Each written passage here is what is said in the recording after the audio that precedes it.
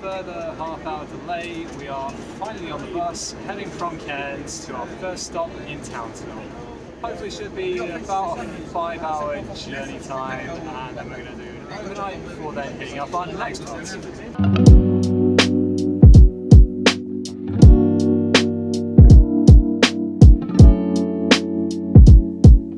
It's 10:30 and we've just arrived to our hotel in Townsville.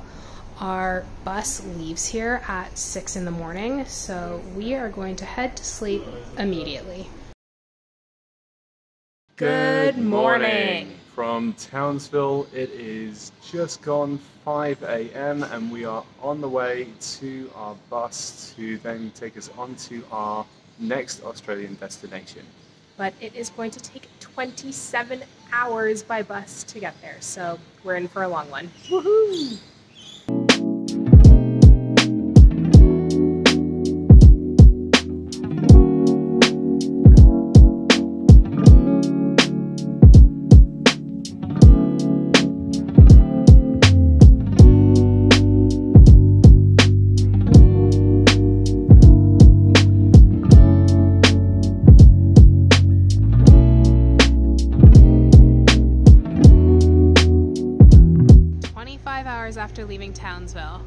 38 hours after leaving Cairns. we are finally here.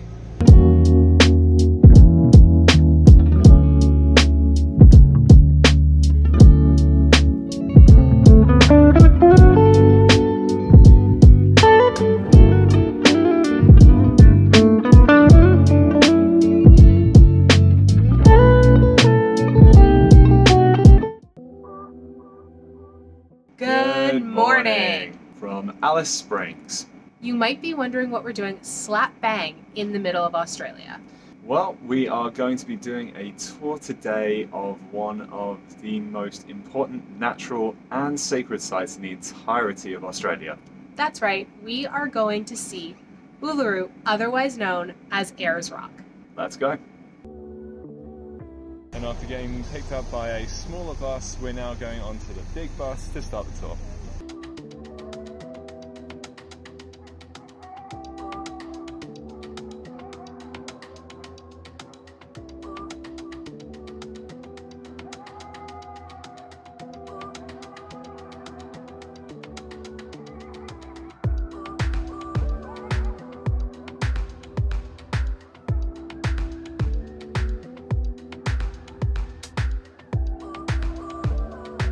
After four and a half hours on the coach bus, we have finally arrived at Uluru Kata Tjuta National Park.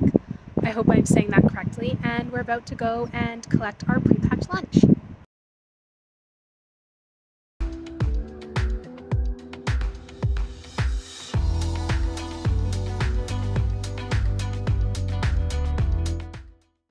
Before we go exploring Uluru, then we have been brought to its lesser known sibling.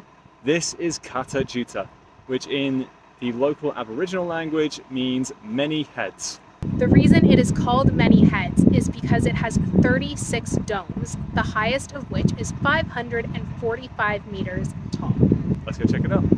We're just about to do our self guided hike into Walpa Gorge here at Kata Tjuta.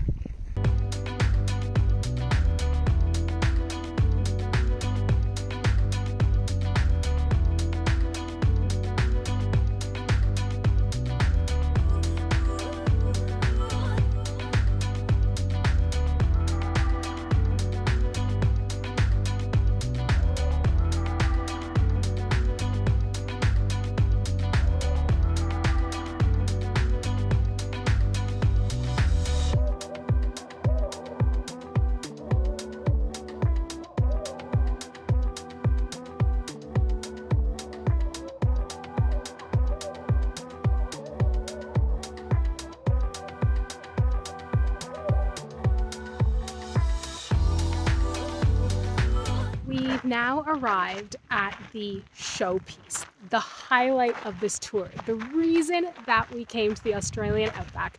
We are at Uluru, otherwise known as Ayers Rock, and it is absolutely massive. The base perimeter is 9.5 kilometers long. And actually, something we've just found out today is that this is actually something of a geological iceberg. That's our tour guide. Yad. this is Yad. Yeah. so something we've learned today is that actually this is something of a geological iceberg because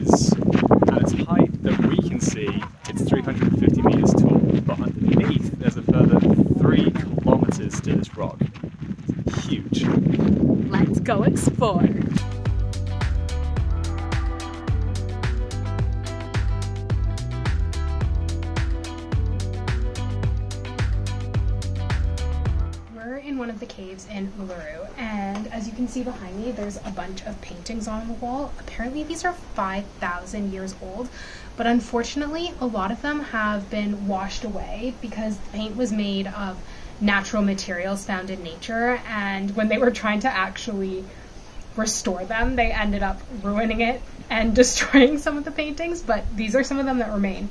And interestingly, they all have different meanings. So these circles here, that indicates a watering hole. And this yellow flower here is something that can be found in this area. And right over here, there's a boomerang.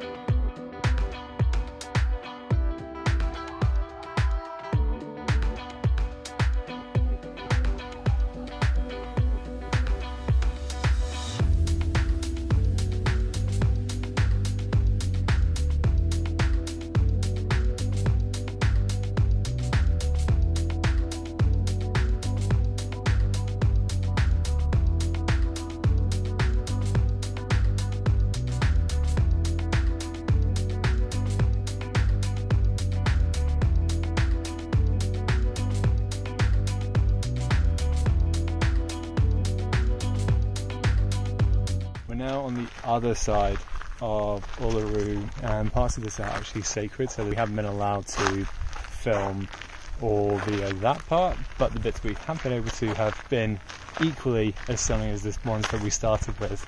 And honestly, this has been truly phenomenal. We've had this on our respective bucket lists for I can't even remember how long, and it's lived up to it and more. This is a truly spectacular place, and it really makes you forget about the 40 degree heat.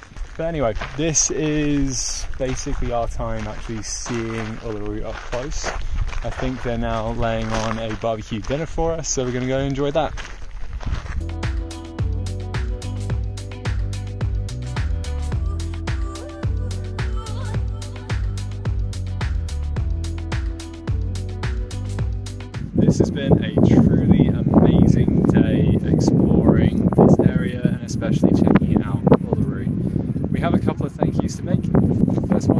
To Emu Run Tours.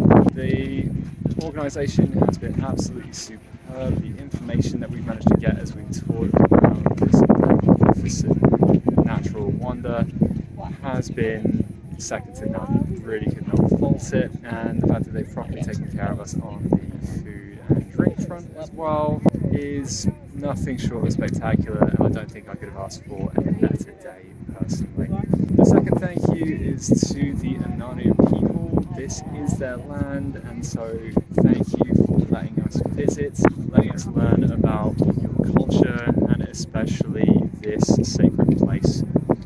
It's been a true honour, and we definitely do not take it for granted by any stretch of the imagination. But tomorrow we are leaving Alice Springs to move on to our next destination in Australia, another overnight bus for us, but you have already seen at least two of those, so I don't think you need to see another one, as I'm sure it will be much the same. What we will leave you with though is some lasting sunset shots of this wonderful place to round off this video. So until next time, take care. And keep smiling.